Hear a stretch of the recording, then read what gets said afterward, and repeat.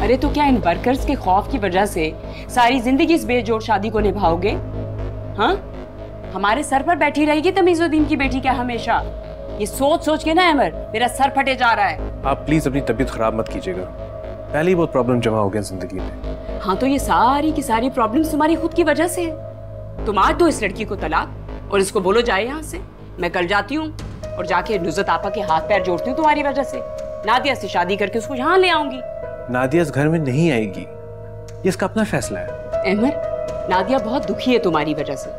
अब वो तुम्हें और इफ्रा को ढेर सारी शॉपिंग करते हुए देखेगी एक साथ तो उसके दिल पे कयामत तो गुजरेगी ना? अब उसको रिसेप्शन पे ले जाना है तो कपड़े तो दिलाने होंगे ना मारो इतना ही ज़रूरी था तो मुझे बता देते। अलमारी भरी पड़ी है कपड़ों से मैं दे देती उसे कोई पुराना जोड़ा। उसे कौन सा फ़र्क पड़ना था? आप भूल रही हैं कि इफ्रा वहाँ मेरी बीवी की हैसियत से जाएगी। मैं नहीं चाहता कि लोग सोचे कि मेरी बीवी किसी शय की कमी है।